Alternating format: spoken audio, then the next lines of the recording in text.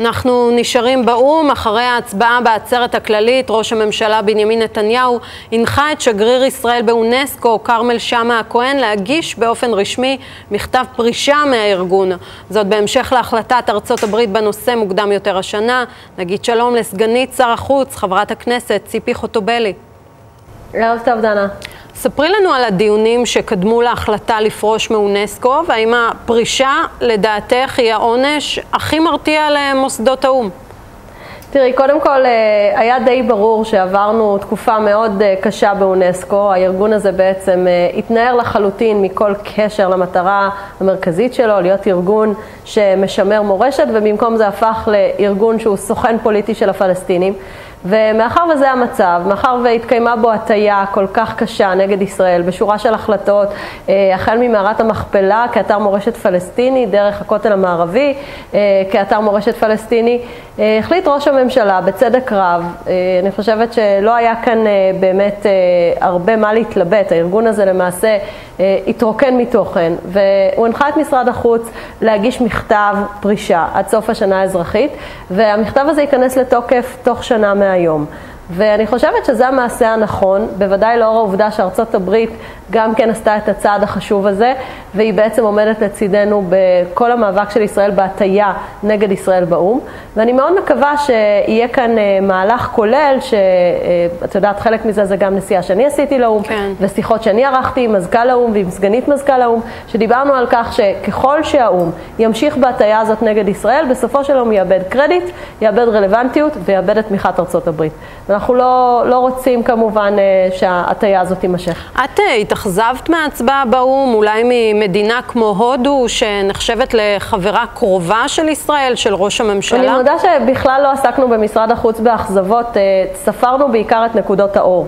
גם שמחנו על המדינות שנמנעו, חלקן מדינות אירופאיות שממש שברו את הקונצנזוס האירופי, וגם שמחנו מאוד לגלות שכל אותן מסעות של ראש הממשלה ואותה עבודה דיפלומטית שנעשית פה בבניין הזה, במשך אה, כל השנים האלה האחרונות, שמרחיבה את מערכת היחסים הדיפלומטית של ישראל, בסופו של יום מבשילה. אה, את יודעת, מדינות שבעבר לא היינו חושבות שיהיו חלק מהמערך הזה באמריקה הלטינית, הצטרפו לגישה, לעמדה הישראלית, חלק מהמדינות לא הסכימו לקחת חלק בהצגה, אה, הרחבנו את גבולות הגזרה הרבה מעבר לארצות הברית ואיים שבדרך כלל תמכו בנו כמו מיקרונזיה.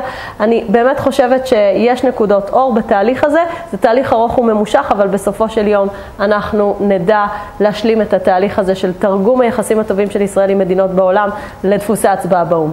ראינו שרומניה שוקלת להעביר את השגרירות שלה לירושלים. לדעתך עוד מדינות יגיעו בעקבותיה?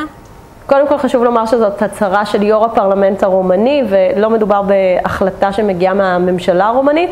כמובן שאנחנו מברכים על ההצהרה הזאת, היא חשובה בעינינו. היינו מאוד מקווים שגם צ'כיה וגם רומניה יצטרפו למהלך ההכרה האמריקאי, וכמובן, כמו שאנחנו תמיד אומרים, מקומם הטבעי של כל השגרירויות בעולם הוא בירושלים, ואנחנו מקווים שבמסגרת עבודת המטה שנעשית במשרד החוץ בימים אלה, התהליך הזה יתחיל, ואני מאוד מקווה שתוך שנה ניסה, נוכל לראות פירות. בהחלט, סגנית שר החוץ ציפי חוטובלי, תודה רבה לך. תודה, ערב טוב. שפטל, הפרישה של ישראל מאונסקו תזיז למישהו בקהילה הבינלאומית? אה, אני לא בטוח, אבל שוב, גם כאן אני רוצה להצביע על תופעה של ריקבון פנימי. הדרג המקצועי, מה שנקרא הדרג המקצועי במשרד החוץ, עשה ככל יכולתו לטרפד את המהלך הזה, אה, הודיע לכל מי שצריך להודיע או לא צריך להודיע, שזה קודם כל פוגע באינטרסים של ישראל. אה, תוך התעלמות מהעובדה שלא יעלה על הדעת שארצות הברית תפרוש מאונסקו בגלל שישראל זוכה ליחס לא הוגן שם, וישראל כן. תישאר. הרי זה אבסורד שבכלל אין להעלות אותו על הדעת, וחרף זאת, הדרג המקצועי, שמזמן פסק לייצג את האינטרסים כן. של ישראל כלפי חוץ, אלא מייצג את החוץ כלפי ישראל כן, בפעילות מה... שלו. זה כן. צריך לשים על זה דגש. כן, מהי בקצרה? טוב, בקשר למשרד החוץ זה באמת הזוי, אה, מה ששפטל אמר, אבל אה, בוא נגיד לגבי ההחלטה הזאת, הגיע הזמן ממזמן. כאילו, הגענו למצב שהארגון האנטישמי הזה, הפשיסטי הזה, הוא כל כך הזוי ומנותק. אני אומרת, את יודעת, אה, תנו להם, תנו להם להיות מי שהם, תנו להם לשחק ככה בחול כמו הילדים, את יודעת, המנודים עם עצמם, ובואו נתעלם מהם. אבל מה שחשוב כן. זה ש... את יודעת, למה היינו צריכים לקבל את האומץ עכשיו בגלל שממשל טראמפ עשה את זה? לפי דעתי זה משהו שהיה צריך לקרות מלפני הרבה זמן. אנחנו מדברים על גוף שבינו לבין המציאות הקשר הוא מקרי, ובמקרים של גופים כאלה אני חושבת שישראל צריכה להשכיל לדעת. מי שמדבר נגד ישראל ולא מכיר בזכות הבסיסית שלו לירושלים ולמקומות הקדושים, פשוט תתנתקו מהם, אל תנסו להסביר כן, את עצמכם. מי הדברים, שאומר אה, שמערת המכפלה היא אתר מורשת פלסטיני, ברור, שפטל. כשגם בידיים ערביות מסכימים כולם שלא קבור שם ישמעאל וגם לא הגר. כן, אצלנו יש הסכמה, נצטרך לשכנע את שאר העולם.